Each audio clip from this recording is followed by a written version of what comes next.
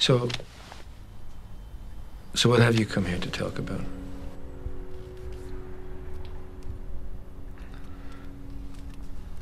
How do you feel?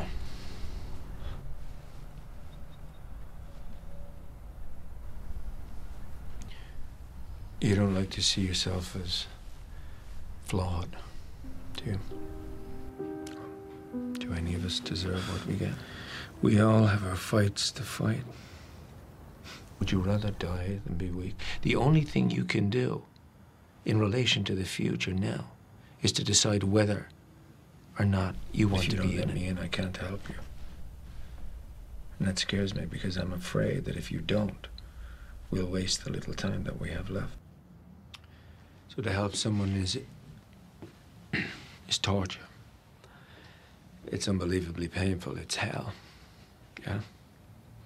If you let me help you, I will hate you for it. Yeah.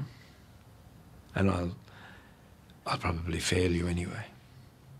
Think that you demand incredible loyalty. So the only people you allow to get close to you are the people you feel that can can measure up. People you feel that can really go the And that's a quality you can't accept in others because you can't accept it. Just know yourself. that if I could have been there for you, I would have been. Maybe that's because you barely had time to be a child. I'm sorry. That was never my intention. You decided to fight it alone, just as you've always done. You didn't tell your mother, but you came to see me. You I told think you me. saved yourself. The only way you Well, know you- how. You are, you are recovering, and you've only got enough strength for one thing right now, and that's to get better. Rebirth. About saying goodbye to the to the old self to make room for the new. That's not a bad place to begin.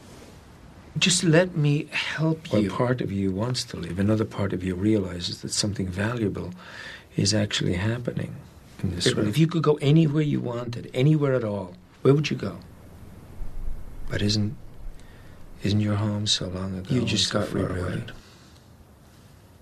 Your life's path has changed without your consent. You will have adventures you will know. You've already started joy. to climb out of the hole. You can't see that yet.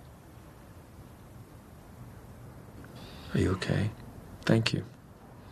Thanks for telling me.